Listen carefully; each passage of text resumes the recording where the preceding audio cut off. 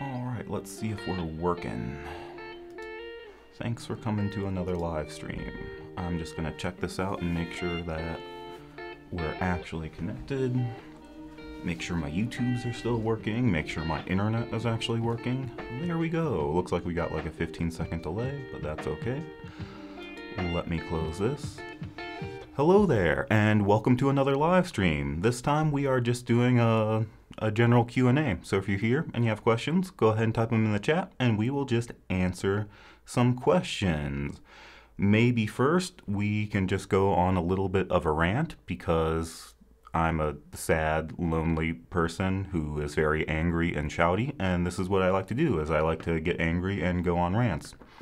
So this isn't really a rant, but this is just something that uh, popped up on Facebook when somebody somebody asked a question in one of the acupuncture groups. What is acupuncture school like? Is it a lot of cramming and memorization, or do they find more enjoyable ways to teach the curriculum? And so this is a on a on one of the Facebook groups, and presumably this is someone who is thinking about going into school and hasn't yet, and they're just wondering what's it like is it a lot of cramming and memorization? Or do we go a little bit deeper than that? And actually, my response to this was yes, it's a lot of cramming and memorization. And I think some people didn't like that, but I want to kind of defend that statement that yes, it is a lot of cramming and memorization. And to some extent, you need to accept that, be aware of that. And especially when you're starting out, you need to very early on develop some good strategies of how do you memorize things? Do you like to use flashcards? Do you like to uh, write things out? Some people get a notebook and they just write things over and over. That was better for me, It was writing things out. I never really liked flashcards. Do you like tables? Do you record yourself and then listen to it later? Uh, you need some way to memorize things because it turns out learning Chinese medicine is a lot of memorization. And I think that's not a bad thing. I think a lot of people look down on that. And I know that I was one of those people when I first started out. I was like, memorization is the lowest form of learning. I have a background in mathematics, and I had this attitude of if you understand the concept, you don't need to memorize. If you understand what it means for a secant line to be parallel to a tangent line, you don't need to memorize the second fundamental theorem of calculus. You, you just know what that means. So I was very resistant to that at first. And then I had experiences in the clinic where there were just things like, I didn't know the xi-cleft point on the spleen channel. I understood the concept of a xi-cleft point. I understood what was going on with the with the chi at a xi-cleft point. I knew that xi-cleft points treat treated acute conditions and pain and that they could do things with the blood on the yin channels. But when it came to what's the xi-cleft point channel or what's a xi-cleft point on the spleen channel, I just didn't know. And that was limiting my ability to do a treatment because I hadn't didn't memorize that very basic information. So I would say, especially in the first year, that yes, it is a lot of memorization and cramming, and that's not necessarily a bad thing. Sometimes I use this analogy of say you're learning to play the play a musical instrument. I played the piano when I was young, and then I also played the saxophone it turns out that a lot of people when they their goal of being able to play a musical instrument is they want to be expressive they want to create beautiful music that sounds very lovely and very nice. It turns out when you're learning to play the saxophone, that's really not how it is in the beginning. When you learn to play an instrument in the beginning, it's really boring. It's like you're playing a bunch of scales. You're playing long tones to develop your tone in your embouchure. You're doing tonguing exercises. You're doing fingering exercises, and you're just playing scales and arpeggios. And it's really boring. And it's really easy to be like, ugh, I hate this. I just wanted to make beautiful music, and I'm just playing all these boring scales. Well, it turns out you have to start that way in order to have a foundation. Um, you, you need those basic skills to have a foundation in order to then go on and create that beautiful music. And so there are a lot of people that they skip that first step and they try to move on to the other stuff and they find out later that they're kind of crappy at it. Like they're really bad that now they have to go back and relearn that stuff. And it's really hard now because they've developed some bad habits or they just don't have the discipline to do it. Or another analogy would be like learning a martial art. Again, a lot of people get into martial arts because, like, oh, I want to learn how to fight. I want to learn how to kick ass. I saw this cool thing on this video and I want to learn how to do that. It turns out when you start learning martial arts, it's really freaking boring. You usually spend like the first six months doing stances, doing stretches, just strengthening your legs so you can get into a good horse stance. I remember um, I took Bagua Zhang for a while and, and basically uh, eight trigram palm and basically we did palm strikes. And the guy was like, okay, the way you do this is you do a thousand of these every day. And if you do that every day for six months, then we'll teach you how to walk around in a circle. And so again, that can be really frustrating because you're just doing this boring, repetitive stuff. But you need that. You need to develop that foundation. Otherwise, when you get into the more advanced stuff and you're like, "Ooh, I want to fight," uh, the people who skip that step step turns out they're really crappy fighters uh, their punches have no power because they don't have a firm base. They didn't develop their legs in the horse stance or the various stances. Now their their strikes don't have any power behind them, and it turns out they're just crappy fighters. And so they basically wasted their time, and now they have to go back. Well, it turns out studying Chinese medicine is the same thing. We have to develop a foundation, and it turns out what is the foundation? it's memorizing that boring crap like the big picture, the point categories, the locations of the point, the functions of the point, the definitions of the 28 pulse images. It turns out you just have to memorize that stuff in order to establish a foundation. And then later we can go on into the more exciting stuff of how to actually heal people. And when you have that foundation, your treatments become more powerful because you can fall back on that rather than just being like, I'm going to use my intuition because I never actually bothered to learn the material that was in the textbooks. And that's just not a good way to heal your patients. So I think that is, yes, there is a lot of memorization and cramming. That primarily happens in your first year, so you need to accept that. You need to have a good strategy of how to do that. And then later, once you build that foundation, you'll be able to move on. And so I think that especially if you know the author Bob Flaws. Bob Flaws, he's I think he's usually publishes through Blue Poppy Press. He wrote a lot of stuff earlier, kind of in the 90s and early 2000s, so I'm not sure if people are as familiar with him, but he wrote a lot of our early books in Chinese medicine. And it turns out he was really big on memorizing things. If you look at his pulse diagnosis book, in the in the introduction of that book, he talks about if you want to be good at pulse diagnosis, the first step is you need to memorize the word for word definition of each of the 28 pulse images. If you don't know the definition of a pulse image, there's no way you can diagnose that pulse.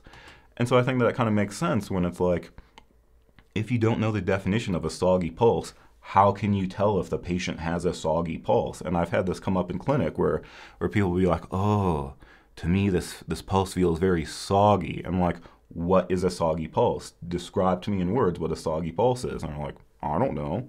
Well, it's how do you know it's a soggy pulse? Or they'll be like, or I had some students who were like, oh, I think the pulse is it's flow, it's deep and it's soggy. It's deep and soggy. I'm like, mm, no, it's not. The definition of a soggy pulse is it's floating or superficial, it's thin or fine, and it's weak or forceless. So the, you can't say a pulse is deep and soggy. If the pulse is deep, it's by definition not soggy. And so you need to be able to accurately identify the pulse images if you're going to use them in your diagnosis. So he kind of so Bob Flaws, at least, is really big on this memorization thing, and it turns out in one of his books, uh, Statements of Fact in Chinese Medicine, he explains on this more. So uh, I took a little photo of this. Um, maybe I should say, basically, Bob Flaws wrote this book called Statements of Fact in Chinese Medicine. He just took basic statements about um, yin and yang, the five organs, and on a lot of our fundamental stuff. And he just said these are basic statements. If you want to be good at Chinese medicine, you need to memorize these statements. And so a lot of people don't like that, so he gave some justification for it in his introduction. And he talks about when he's a Buddhist student, uh, he said there are th- three steps to learning. First, one should learn the meaning and not just the words. Second, one should learn the words and not just the meaning. And third, one should learn the words in their proper order, since it's assumed there's logic to that order that's been honed by generations. So he's saying this is a three step process. You need to learn the words, you need to memorize just rotely the word for word definition. Then you need to understand the meaning. Then you need to know kind of how they go together and what is implied by the proper order. Then he goes on to say, um, It is my experience that Asian students, kind of cuts off there, but he says that in his teaching experience, with Asian students, they are very good at memorizing the words, but not necessarily really great at understanding the meaning behind those words. Whereas as Western students, they were very good at trying to understand the meaning, but they were never very good at understanding the words, the actual words. And I've noticed this is true just from students that have commented on videos and students that have emailed me. Uh, they they've also inadvertently made this observation where they say they have a lot of uh, Asian teachers that came from China, studying in China, were doctors in China, and so they're very knowledgeable. They're very good healers, but when it comes to teaching, they basically just throw out a bunch of information and expect you to memorize it, and don't necessarily explain why it is the way it is. And I think that's why people they would say, "Oh, that's why we like these videos is because you actually make connections and explain the meaning behind some of these statements." But it's true that we we need to know both. We need to memorize and understand the meaning. And it turns out when you're in your first year of Chinese medicine school, a lot of it is going to be just memorizing. And again, I don't think that's necessarily a bad thing. The other part of this question is uh, do they find more enjoyable ways to teach the curriculum? Like, ideally, the answer would be yes. And um, so in, it's not like you just have to memorize. There should be some some better ways to do it. Like we just had a podcast with uh, Zach Louis, and he kind of said in the opening comments that he had Chinese teachers that would have him lay out in the sun to experience what it's like to have yang qi, or you'd have people you'd have to stand in horse stance for three hours and press lung one and be like, what does this feel like? How is it affecting my meridians? Things like that. So ideally we should have a better, uh, a fun way of teaching the curriculum. But in all honesty, at some point you just have to memorize things. The other thing about this is do they find more enjoyable ways to teach the curriculum?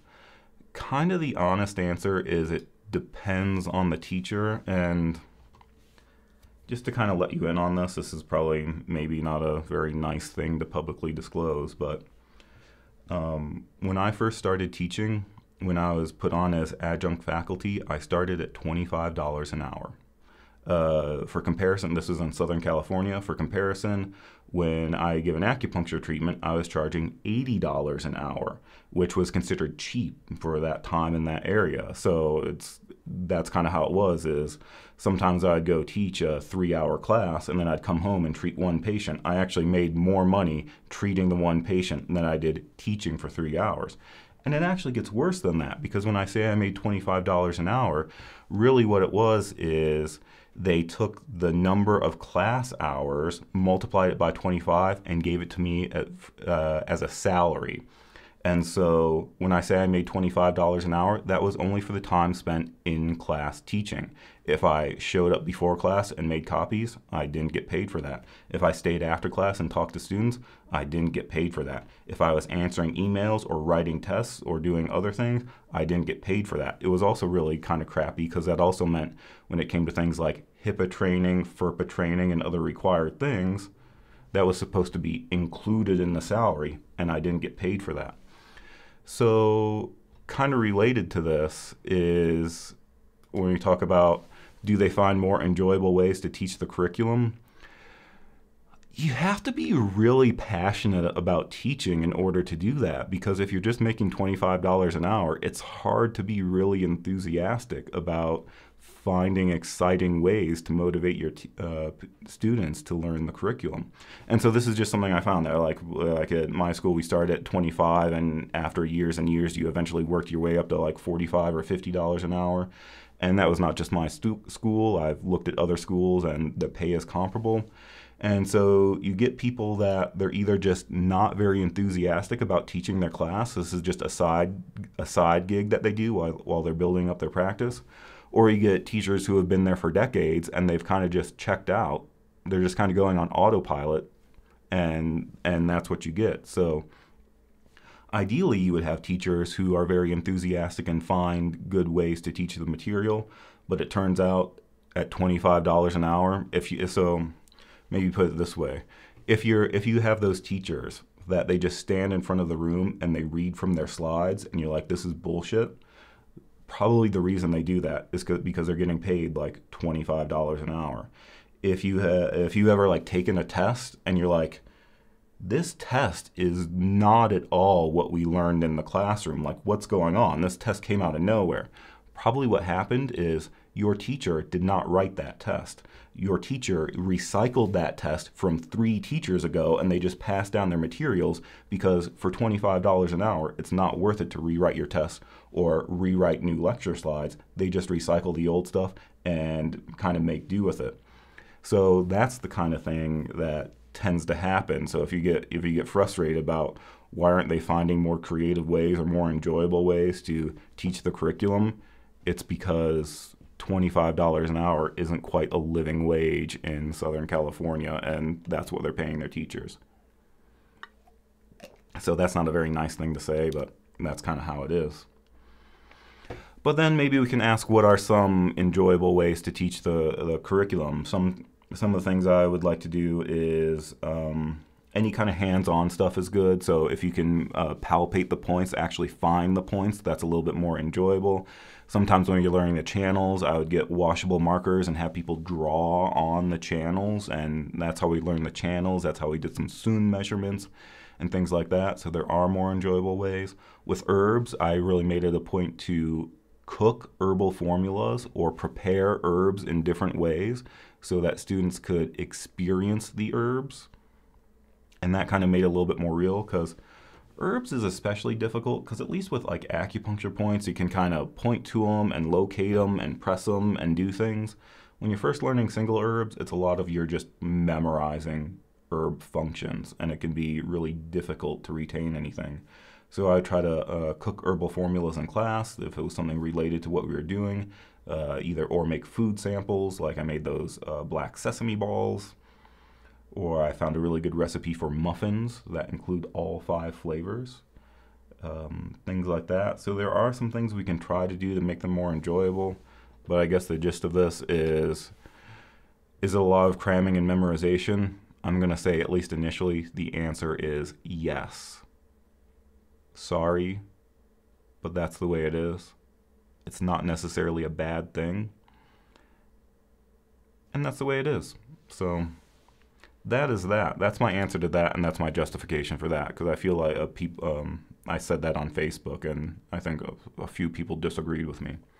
So this is just a, a live Q and A. So if you're in the chat and you want to watch and you want to ask questions, go ahead and uh, put them in the chat. And otherwise, I'm just gonna sit here and bullshit to myself. So another exciting thing, announcements. Another exciting thing that happened is uh, I made some T-shirts. When I say I made some T-shirts, what I really mean is I hired a graphic designer to make some designs, and then I put them on T-shirts. So uh, if you want some acupuncture swag, there's a link in the description below. There's some T-shirts. We have uh, basically a bunch of unicorns. So yeah, acupuncture is magical on a T-shirt, or there are a lot of other things. You could get it on a crop hoodie, which I might go ahead and get a crop hoodie of, acu- of my acupuncture unicorn. Or you can get it on a tote bag. You can have, instead of just acupuncture is magical, you can get acupuncture is magical, but also kind of stabby, which I thought that was, was funny, and a lot of people were offended by that. Acupuncture is magical. If you don't like black, you can get it on white or other colors. Uh, have a mug, a unicorn mug, so it's kind of fun if you're in clinic and you want to have an acupuncture mug. Like I said before, I was going to make a free the stool mug. So tong bian means free the stool. So when we talk about our downward draining herbs, herbs like da huang, mang xiao, a lot of those herbs, they have an action of freeing the stool. And the Chinese is tong bian. So maybe you can uh, have your coffee cup. You can think about drinking your coffee and freeing the stool. It's also available on tote bags and other stuff. I got one of these pillows too. I think it'd be kind of cute to put a pillow in your clinic if you like have a couch in your waiting room. That might be kind of cute. So that's just a way that um, I thought those were kind of fun. I thought it was funny. If you want to support the the channel, that's another thing you can do is get merch. I will say though that um, it actually can be an interesting marketing thing. I have had people that they were like, uh, they had just a tote bag that they got for free at some conference or symposium that said something about acupuncture, and they were carrying their acupuncture tote bag around in Whole Foods, and people actually stopped them and asked them, like, "Oh, do you do acupuncture?" And they they uh, you should always have your business cards with you, so they gave them a business card, and they actually got patients that way by just walking around with in their everyday life with their acupuncture tote bag in the Whole Food. So I think so. If nothing else, that might be an interesting um, uh, marketing thing. That if you go to your yoga class with your acupuncture T-shirt, or if you shop in Whole Foods with your acupuncture tote bag, it could be that you'd get people coming up to you and asking you about it. I actually had the same thing, and uh, I I did one of those Groupons to Core Power Yoga, and I had uh, gotten cupping I'd either gotten cupping or I'd done cupping on myself because a lot of times I try to cup myself. And when you have back hair, I don't recommend doing fire cupping on yourself. But um, I would go to yoga class, and in the locker room, I'd had all these cupping marks on me, and so people would come up to me, like, "Oh, did you get cupping? Where did you do that?" And it's actually a good, it's a good marketing technique. Is just, just walk around with cupping marks on you, and people will come up and and ask you about that. So that's a that's an interesting thing.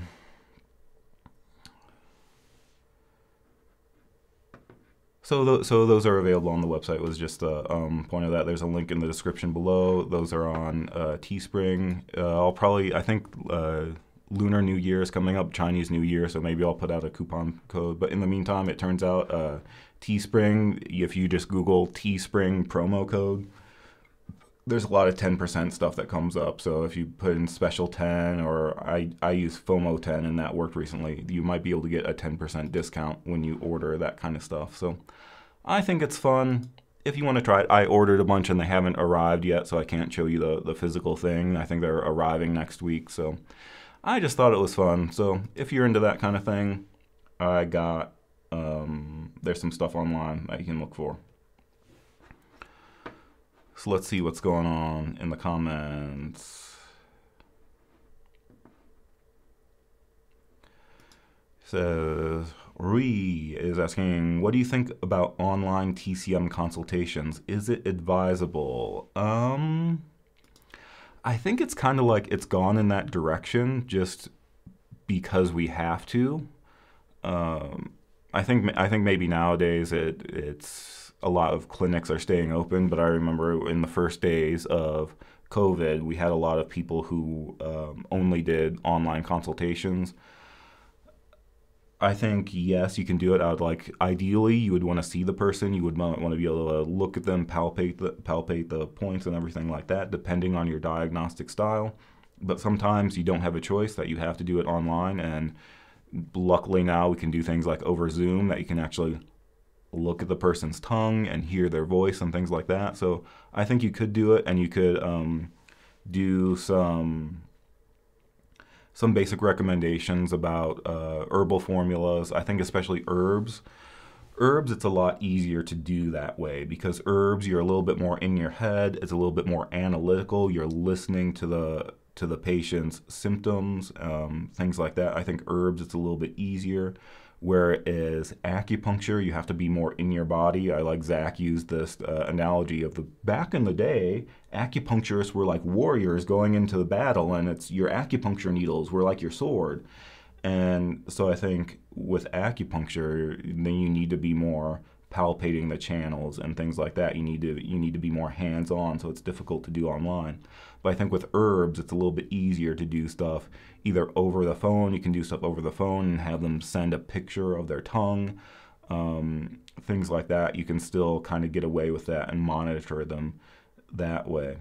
But I have heard other people like um, on the podcast, Gary was talking about how he would do uh, at home ear seed treatments where uh, they'd kind of do an intake, establish a diagnosis, and then uh, earseeds.com. You can go there and you can have the patient order their own ear seeds, and then he would go through and show them how to put them on and look at them and make sure that everything's correct. And so that was a way to do things at home when we were in lockdown.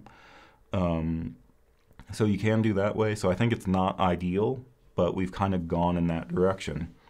And it's kind of interesting. You also hear these stories about um, back in the day, back in China, you would have physicians uh, treating uh, women in court, especially I think it's like the emperor's concubines, and it was not uh, basically you weren't they weren't allowed to touch women uh, just because of social distinctions or or what was going on that they were not allowed to actually maybe even see their patient or touch their patient and so they just had to go off of it that way. They have stories about they would tie a thread around the wrist and observe the pulse that way. They couldn't actually touch the woman's wrist. They had to observe the pulse that way. And so that does exist in uh, traditional chinese medicine. I think it's not ideal but it's something that we do that sometimes it's necessary. So i think that's okay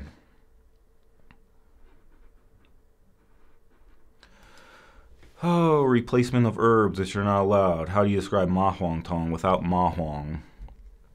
Um, that's been kind of interesting because I'm I'm actually not sure if ma huang is still illegal in the U.S. And I think for a while you couldn't get it at all. Um, and then I've heard some people say that you can get the actual raw form, and you may need to show your license or stuff like that. I haven't looked into that because honestly, uh, at least in my practice, there's been very few times where I've actually wanted to prescribe Ma Huang. Um, but in terms of replacements, I'm not sure there are good, like some of these herbs, we just don't have a good replacements. And so, like, for a while, it was very difficult to get Ejiao, donkey gelatin. Um, or some people just don't want to use it because they don't want to use animal parts. And they're like, what's a good replacement? It's like, I'm not sure there is a good replacement for Ejiao, um, or certain things like that. So I think Ma Huang is another. I'm not sure there's a good replacement. It turns out you can get ephedrine, at least in America, in, in some pharmacies, you can get ephedrine in pill form. It's just behind the counter, so you have to um, go in and show your ID, and they put me on a government list to make sure you're not uh, making meth. Um, but you can get like you can look for like Primatene or Bronkaid or certain asthma medications do you have ephedrine in it. So I thought that would be kind of interesting. Is could you, if you had Ma Huang in the formula, could you cook the other herbs and then tell them to go and take some Sudafed on the side? I don't know if that would work or not. Um, so for that one, I don't know. But I'm going to be honest, there's been very few times when I've actually wanted to prescribe Ma Huang. Should you use local or distal points? I usually do some of each, uh, depending on what we're treating. So if we have like a, a problem, um, like especially if it's a musculoskeletal complaint, if a person comes in with knee pain, I'll do some points on the knee and then I'll do some distal points. Sometimes it depends on just your style, that some people only like to do distal points um, and they'll claim that they can get good results never doing local points. Um, I'm just for me, that's never really worked out. I like to do a combination of both. Some, but I would say you should get good at using distal points because sometimes they'll just be in areas that you can't actually needle, that you might have. Um, they might have a gaping open wound, and you're like, "Oh, it's oozing and pussy. I don't want to stick needles in there because I might in, cause a cause an infection, cause a um, um, auto auto what do they call it when you infect yourself cross contamination versus the uh, autogenous, autogenous infection. You might cause an autogenous infection. That was a question on one of my board exams. You might cause an autogenous or autogenous infection by by needling into that. If it, if there's already some oozing or pus there, they might have uh, maybe they broke their ankle and now it's under a cast and you can't do local points. And so you have to think you have to get creative about what am i going to do there? Am i going to needle the opposite side? Am i going to use a mirror image? If they have a problem in their ankle i'm going to stick needles in their wrist on the opposite side. So um, ideally i like to do both. I find that just doing local points usually doesn't work out that well. You need to do something to treat more uh, systemically. So if a person has knee pain, I don't just put points in the knee, I'll also do something systemic. Um, so I usually do a combination of both. How do you choose a school? Eh, I don't know. I just I just I found one that looked good. Halfway through, I started to not like it, but I just went and did it anyway.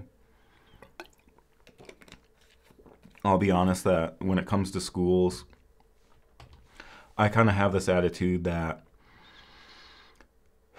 basically, uh, maybe I'll put it this way. Um, I had a friend who teaches nursing. Uh, and he would say he would always start out with an introduction on the first day. The first thing he would say is, if you're going to be a nurse, you need to understand that you are at the bottom of the totem pole. You are a slave to everyone. You're a slave to your patient. You're a slave to your charge nurse. You're a slave to the doctor. Uh, you are the bottom of the totem pole. And if you're not comfortable with that, you need to leave now. Just get out now because it's not going to change. It's not going to get better. That's what it means to be a nurse.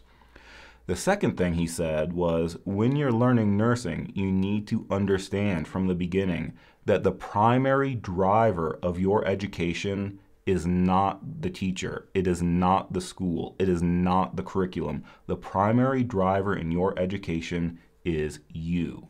And that's something uh, I would recommend having that attitude that because I, I've seen a lot of students that they don't get what they want and they blame it on their teachers, they blame it on their schools. When I would say ultimately, your education at the end of the day comes down to you. Uh, you'll get out of it what you put into it.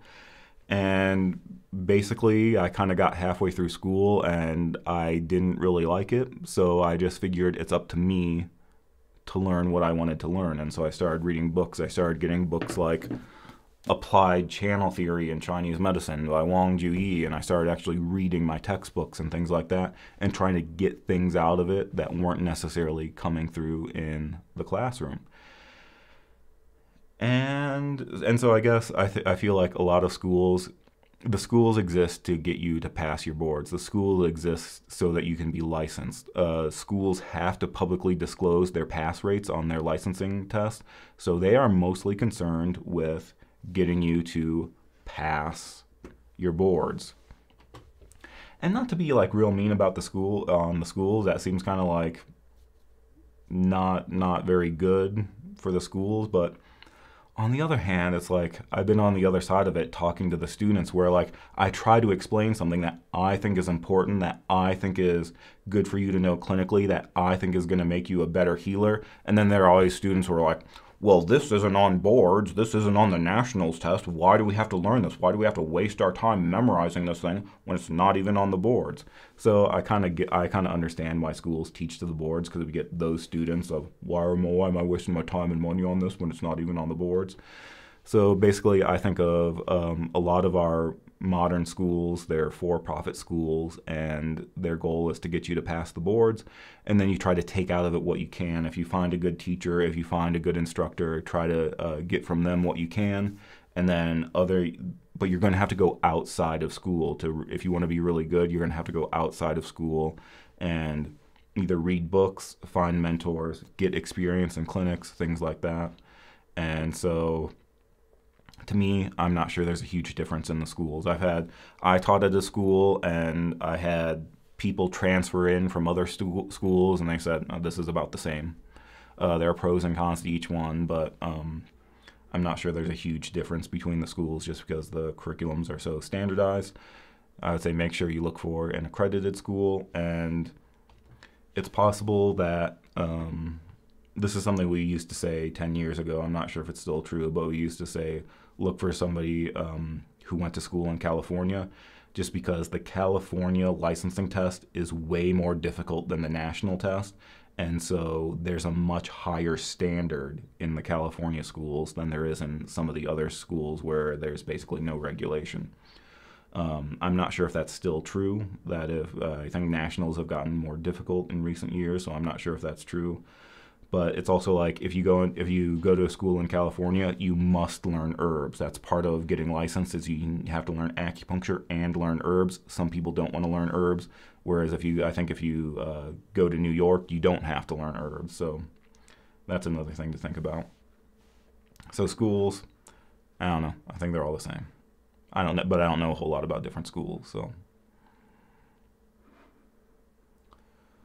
Um,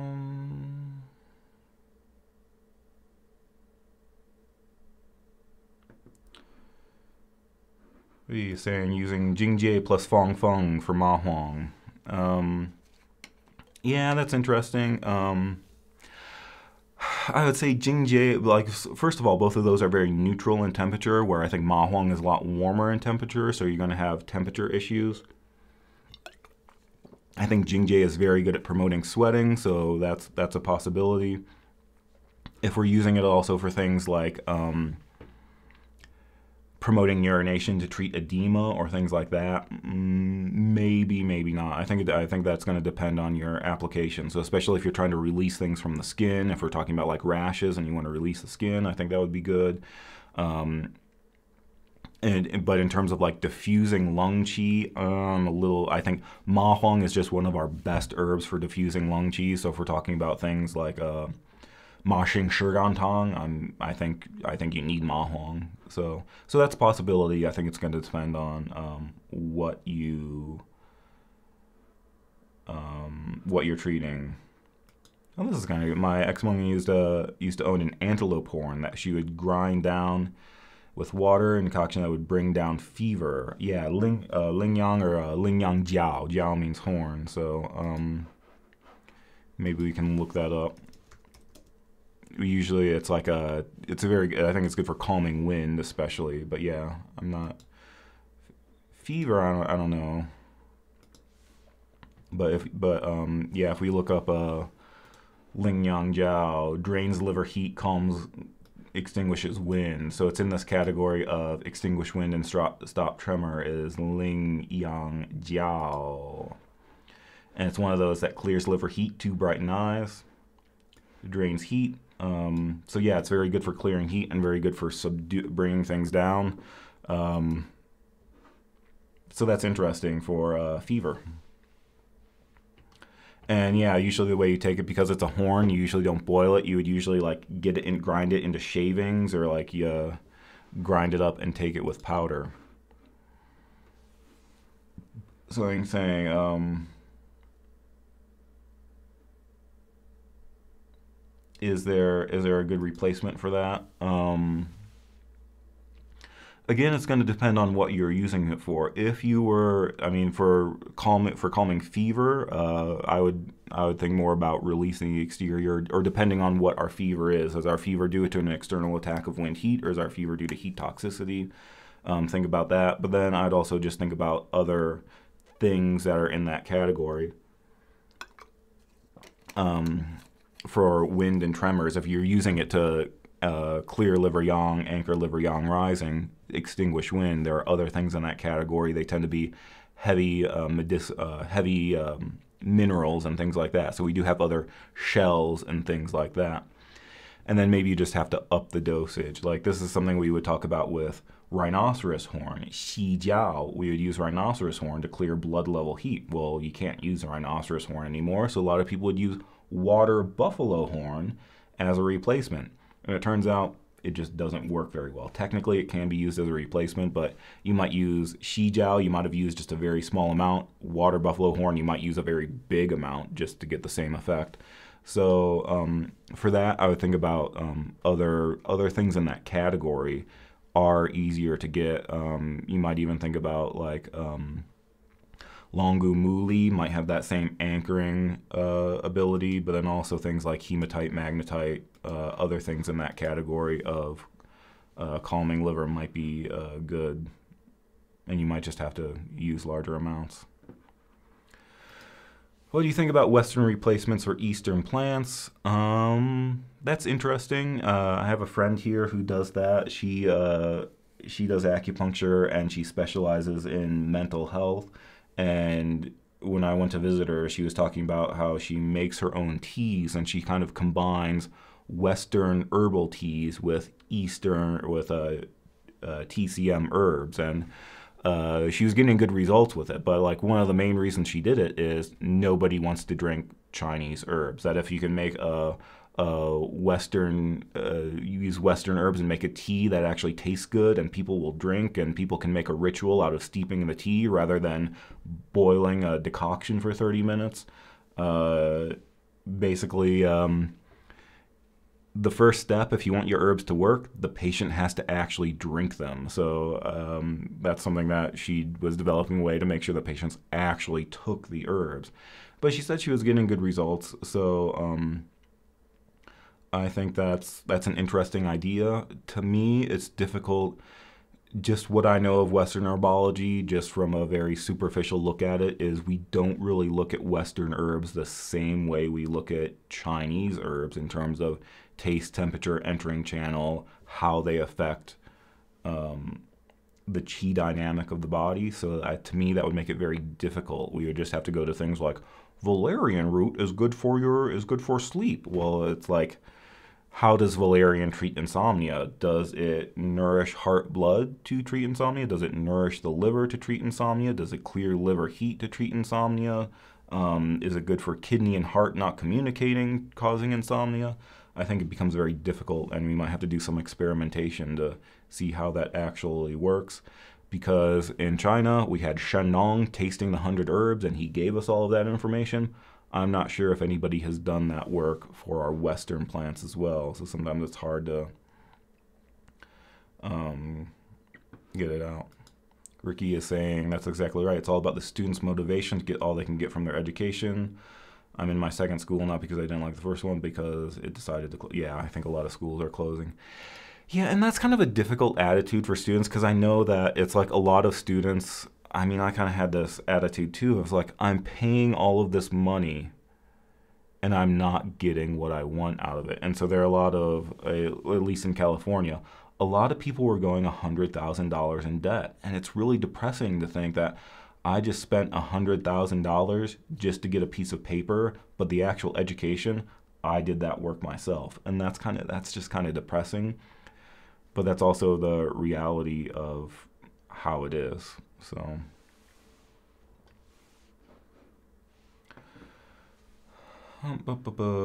Michelle, I appreciate your description of what it's like to teach believe it or not, even in the public school system, the more the more you work to make your lessons better, the less money you make per hour. Yeah, so it's basically like we're getting paid to be in the classroom. We're not getting paid to do work outside of the classroom. Um, and so, and you see that with a lot of like the teacher burnout rate is uh, very high. So again, if you've been in school and you have this experience where you had a really good teacher, and then you're like all the good teachers leave after two years, well, it's like that's why. It's like you can be really enthusiastic about it and really motivated for the first two years. After that, you're like, I'm making shit money. I'm putting in all this work and I'm dealing with all this bullshit from the students. This is not worth it. And so, like, don't be surprised when there's a high burnout rate. Thanks. What about using ginseng with chrysanthemum? That's a common cooling drink here. That's interesting. That's interesting. Um, I think first of all, uh, when you when you're talking about using uh, for cooling, I would assume that one where like remember with ginseng renshen, we have a couple different varieties or a couple different preparations of renshen. You can use the basically the white or the red. You have bai renshen, the raw white ginseng, and then you have red hong renshen, hongshen, Korean red ginseng and it's actually the same plant. It's just the, the way it turns red is they like steam it and cook it, and that causes it to turn red, and that's a little bit more warming. Whereas the white ginseng is a little bit more cooling. If you really want to be cooling, uh, a lot of people go to American ginseng, and this is kind of funny. It turns out American ginseng is apparently very popular in China. So in America, we're all trying to get the Chinese ginseng, the or the Korean red ginseng, uh, and that's in high demand. But apparently, it's the opposite in China that they want the American ginseng, the Xiyangshen, that's grown in Wisconsin because it's more cooling and it's more moistening, so it's a little bit better to take long term. That if you take Korean red ginseng long term, you're eventually going to get some heat signs. I knew someone like this in school that they were really into qigong, and so they wanted to build up their qi, so they drank this Korean red ginseng every day, and it turned out they were just like always jumping around. They had bloodshot eyes, and then one day they came in, and it's like I have high blood pressure. Can you believe I'm such a healthy person? How do I have high blood pressure? And nobody was surprised because we're like, dude, you can't sit still. You've been drinking all this red ginseng. You gave yourself heat. Um, so this is really interesting because uh, when we look in the Materia Medica, when we talk about uh, chrysanthemum juhua, it's really for releasing the exterior, releasing heat, and it's good for brightening the eyes. Uh, but I think it was used more traditionally that um, it's it's actually is sweet in flavor and can be used as a tonic. So if you look in, in Bensky, in his commentary, he kind of talks about this how the Taoists would actually use juhua as a tonic, but you you just take small amounts long term, and so that's that's kind of interesting that when we use it in uh, our formulas, we think more about releasing heat in acute situations but it turns out you can. Uh, historically, it was used uh, more as a tonic to take something long term. So that's kind of I think that's that's kind of an interesting combination: ginseng plus renshen plus juhua. Um, so that's really interesting. Another uh, common combination would be uh, gouqizi, goji berries plus juhua. And so especially in the spring when you tend to, the, the spring winds come in and they're really dry and you tend to have eye problems or you tend to have allergy problems or your eyes are really itchy. It's like you can use the gouqizi to nourish liver and moisten and benefit the eyes that way. And then you can use the juhua to to cool things. So it's again like you're tonifying yin and clearing heat at the same time. Chamomile and chrysanthemum come from the same family. Can we swap, swap chamomile for chrysanthemum? I'd be careful about that. Um, because I, I mean, I don't know. I would, I would maybe say experiment with it and see if you get similar results. I mean, those are both pretty mild. You're probably not going to kill yourself. Um, but just remember that sometimes with Chinese herbs, even if it's the same plant, it depends on where it grows that it could be different, or sometimes just very slight variations in the plant can have different properties. So, like we talked about Chuan Mu versus Zhe Mu. There's one form of uh, Mu that's grown in Sichuan. There's another form that's grown in Zhejiang, and it turns out they have slightly different properties. Uh, Beishan, Beisha, Shen and Nansha One is grown in the north, one is grown in the south. They have slightly different properties. Uh, Huainiuxi, Chuanniuxi have slightly different properties. And even when we talk about chrysanthemum, we have Juhua, regular chrysanthemum, and Ye Juhua, which is wild chrysanthemum. So one is chrysanthemi flos, the other is chrysanthemi indici flos. And so one is regular chrysanthemum, one is wild chrysanthemum, Turns out they have different properties. We even put them in different categories. That Juhua we put in cool acrid release the exterior. Ye Juhua we put in clear heat toxicity, and so we use them a little bit differently. So even if they're similar plants, if they have uh, they come from the same family, I'd be a little bit um, uh, I might be a little bit careful to assume that they have similar properties. I mean, same thing with mint. When we talk about bohe, a lot of people say bohe is mint. Well, it turns out when we say bohe is mint, we mean it's Chinese field mint.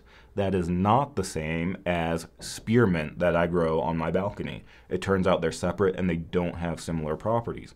Earlier, we were talking about ma huang. There's a Chinese form of ma huang, but we also have ma huang um, uh, ephedra that just grows wild in California. That's why they call it Mormon tea because in that area they would they would just take these plants and make it as a tea. And so that people would say, "Oh, can't we just use this ma huang that grows wild on uh, on the side of the road in California?" Turns out they're not the same thing. That the Chinese ma huang actually contains the active ingredient ephedrine.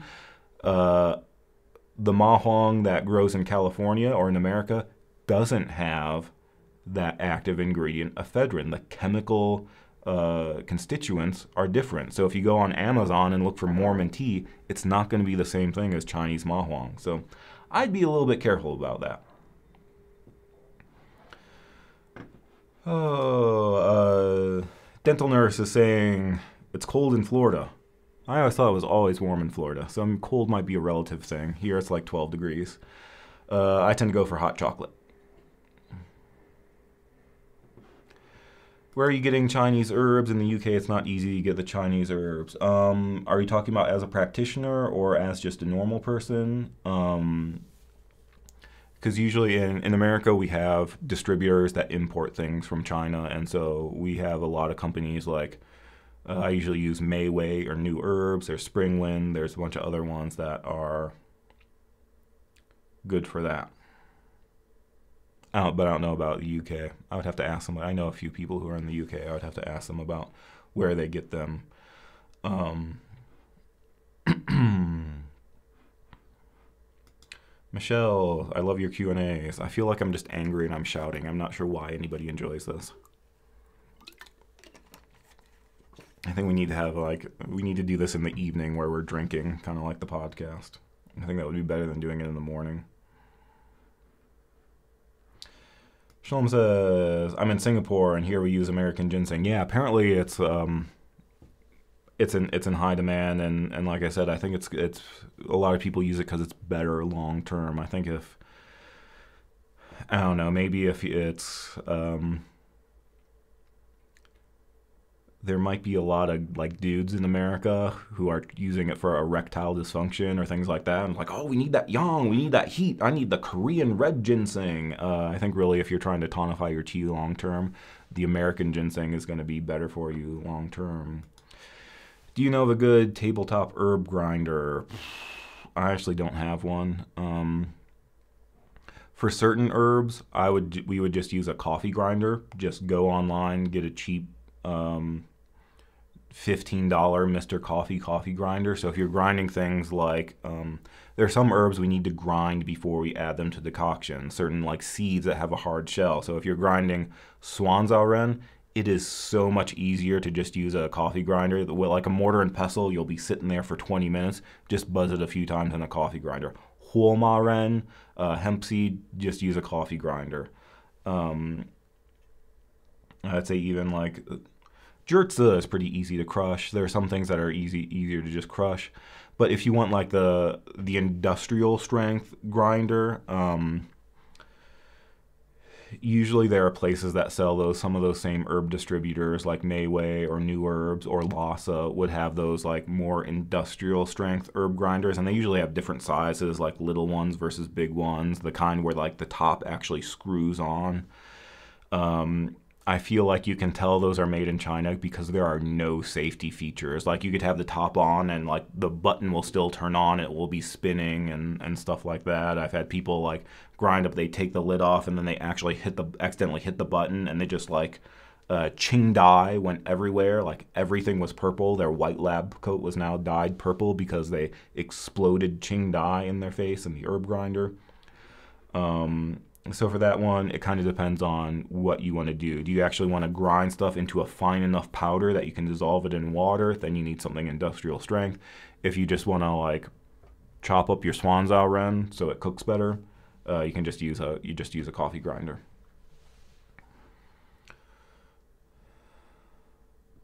Boop boop ba doo. Yeah, mung bean, bean soup and Chinese pearl barley. Um, so that's something we talked about. Um, mung bean is lu dou in the um, uh, heat toxic in the clear heat. I was gonna say drain fire. It's really in the heat toxicity category. Liu dou is uh, mung bean, and so that's very good for clearing heat So if we look at Lu Dou, Ludo is mung bean. And it's good for summer heat and relieves thirst, clears heat and resolves toxins. So that's another thing. If you if it's like if it's hot during the summer, uh, you can eat watermelon. Watermelon is good for clearing summer heat and generating body fluids and alleviating thirst. Um, if you want something more cooked, you could use something like Lu Dou because it resolves summer heat and relieves thirst. When you say Chinese pearl barley, we are talking about Jobs, Tears, E. E. Ren. And this is another one that's very common to cook in a congee. So E. E. Ren, that's what we mean by um, uh, Chinese pearl barley. So this is not the same if you just, like in America, if you just went to the grocery store and you bought barley to make barley soup, this is not the same. E. E. Ren is actually a different species. And um, you tend to use that a lot uh, in congees to strengthen the spleen and um, get rid of dampness, but it also is cool in temperature, so it's good for clearing heat and clearing damp heat. Um, so we look at it, as slightly cold or cool in temperature. So that's another thing you can eat to clear heat. That's good. And it makes a good congee. So both of these cook down really well. Um, if you just get the regular uh, Yi Yi Ren, like you have to cook it for a long time. It's like, it's not like, oh, you just boil it for 10 minutes and it's good. You have to cook it for a long time. Um, so that's another one.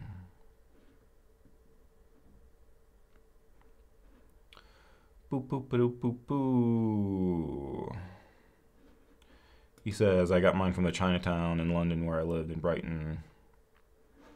So I'm assuming that's that's where either the herbs, yeah, you can get in Chinatown, or, or if you're looking for an herb grinder, can get you can probably get that as well.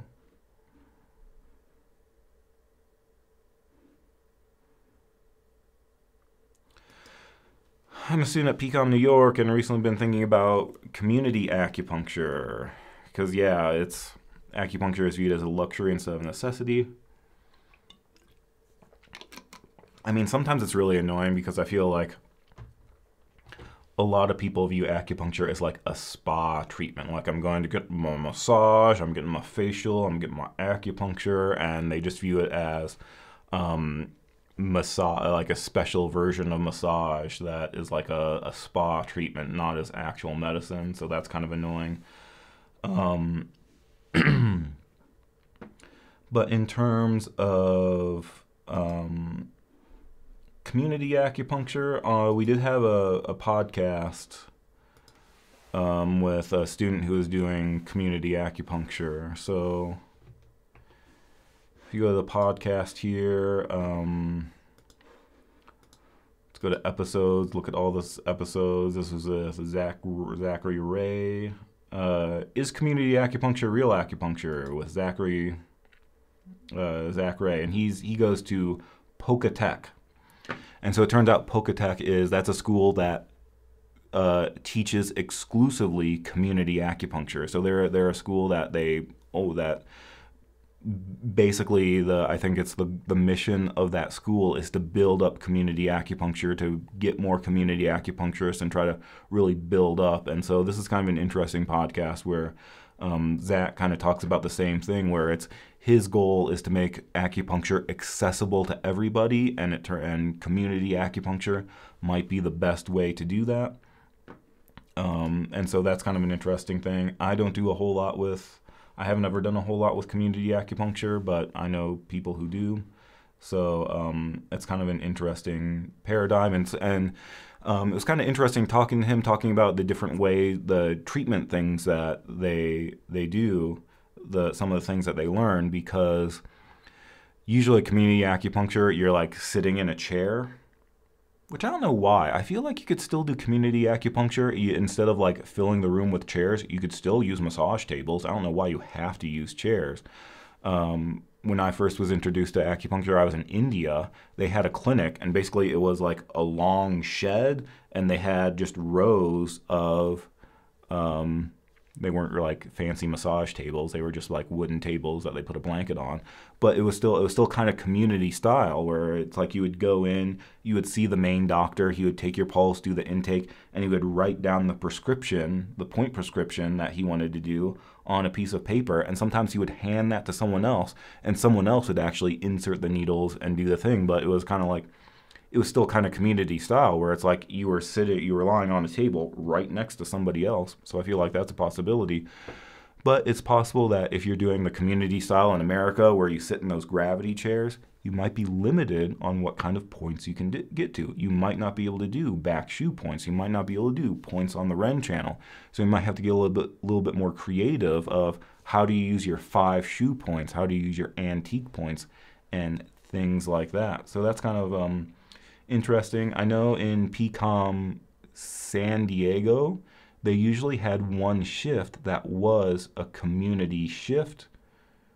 It could be that with lockdown and the virus happening, they probably got rid of that because there's a lot of disinfecting that has to be done. So it could be that they don't do that anymore. But there were things that did, specifically community acupuncture.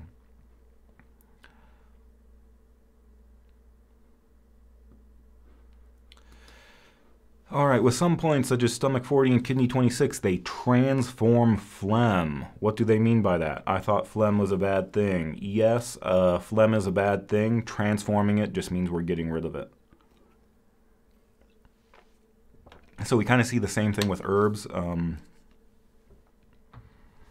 that's just the term we use for getting rid of phlegm, of transforming phlegm. Now, some people ask, what does it transform into? I would kind of I don't I don't really know. I think it just transforms into nothing. Um, so a lot of times we're talking about the the spleen has a function of transformation and transportation. On the one hand, it transforms, uh, it rots and ripens the food and sends it out to the various organs. With that transformation, transportation, we can also say it transforms dampness and, and things like that. What does it transform into? I don't know. I'm not sure it transforms it into anything. So some people try to say that when we transform dampness, we're taking bad fluids and turning it into good fluids. I think that uh, Wang Juyi specifically says no. Once something is evil or pathogenic, we can't transform it into something good. Other people will uh, debate that. I've heard people say, oh, we can take pathogenic heat and turn it into good heat. I'm not sure if that's true or not. But I think transforming phlegm, we're really just talking about getting rid of the phlegm kind of like with herbs, we say aromatically transform dampness. What are we doing to the, like, what does it transform into? I don't know. It's just the body's way of getting rid of dampness. Um, so it's kind of like with dampness, we can drain the dampness through the urine, we can dry out the dampness using bitter things, or we can aromatically transform the dampness. And usually I think of that when we say aromatically transform dampness, it's like we're using the aroma to waken up to uh, wake up the spleen so that it can perform its action of transforming dampness, transforming phlegm. I kind of think of the same way. We're not ne- we're just getting rid of the phlegm. We're not necessarily coughing it out. We're not necessarily purging it out through the large intestine. It's just you have this like icky evil phlegm there and we're transforming it and it poof goes away. So that's what I would I would think of. Uh, yeah, use a pressure cooker for the yeah yeah, that, I think that's a good investment. Get a pressure cooker. Some like I know some people would cook herbs in a in a pressure cooker as well, but definitely if you're like doing something like Yi Ren, if you're trying to or if you're trying to make um, it's like if you want if you want to make congee, like you would have to boil the rice for like eight hours in order to make it into a congee. If I wanted to make a congee, I would just use a pressure cooker, or use one of those uh, instant pot. I think an instant pot is kind of like a pressure cooker. So Boop boop ba doo.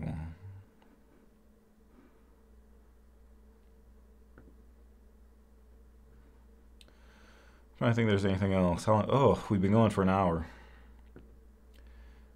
Maybe we should wrap it up. Because I got things to do today. When I say things to do, I that's really just I have to pet the cat go shopping, do some laundry. I really don't have real things to do. I don't have a real life. Anything else fun in here?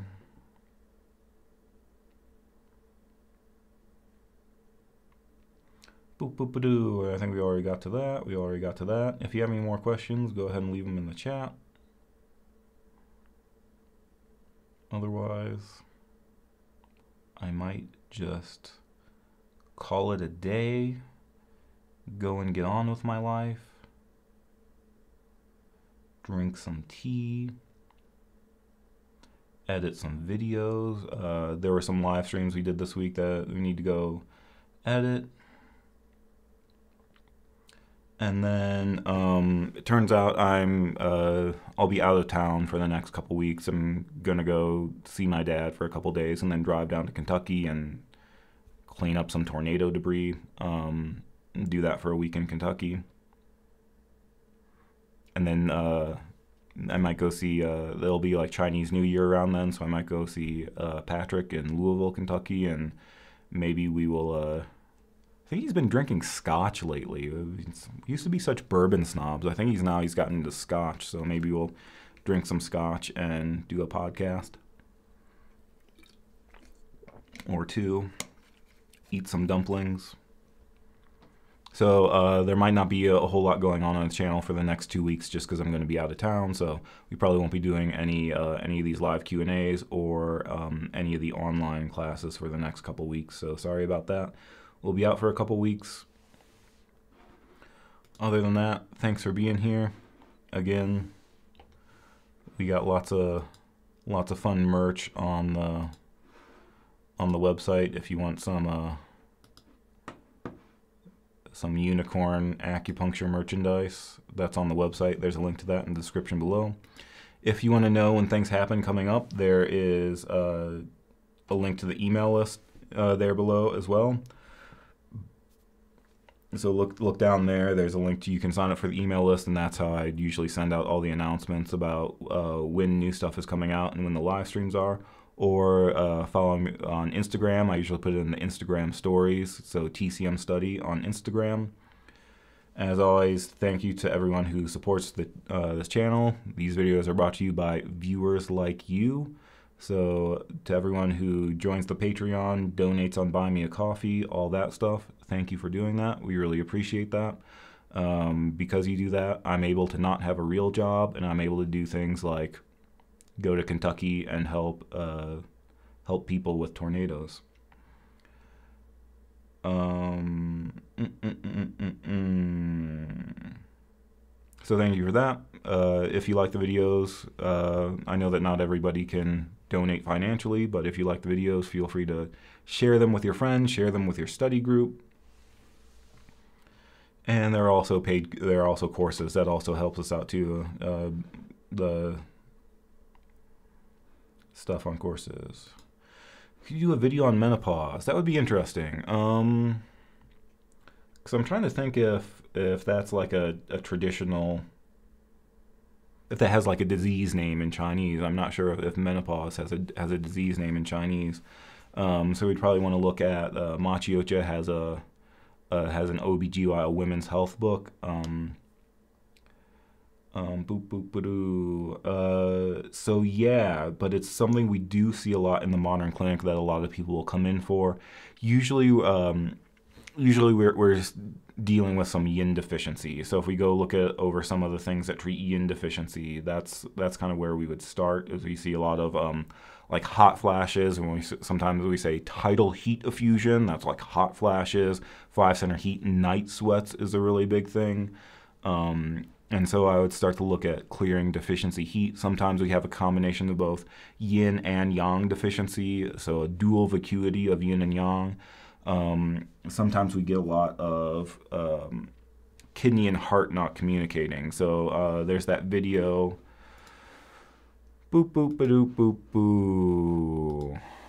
If you go on the YouTube channel, Tianwang.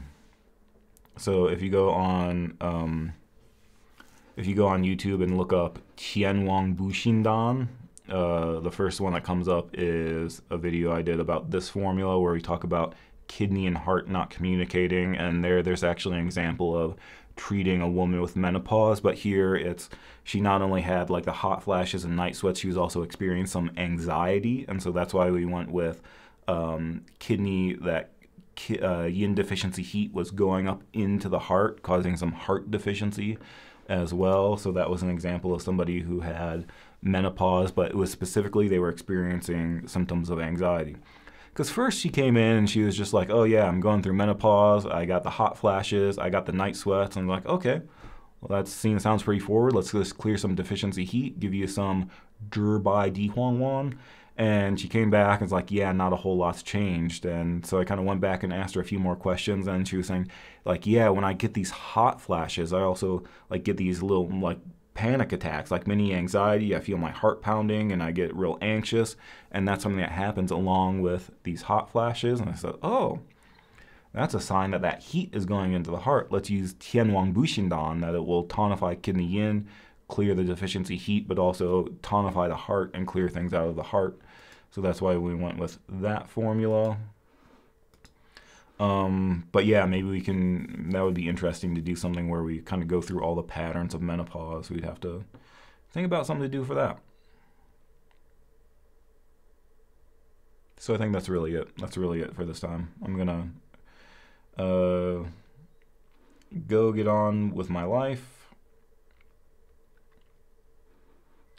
Oh, he says I have I have early menopause. Um, yeah, that's that's usually where we're thinking about some sort of deficiency heat, but there are other possible complicating factors that we might need to worry about.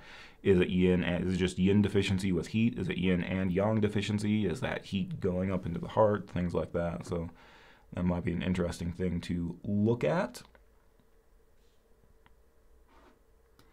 But that's all for today. I'm going to go buy some new chainsaw chaps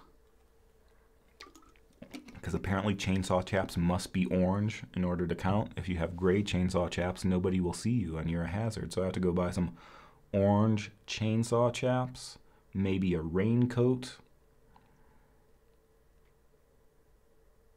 I might shave my beard because N95 masks work better when you don't have a beard, so I may shave my beard. And that's what I'm doing with my day. That's how I'm spending my weekend. That's it for today. If you have more questions, leave them in the comments below and we'll, we'll get to them next time. Or just send me an email and we'll do that next time we're here. Thanks for being here. Have a good weekend.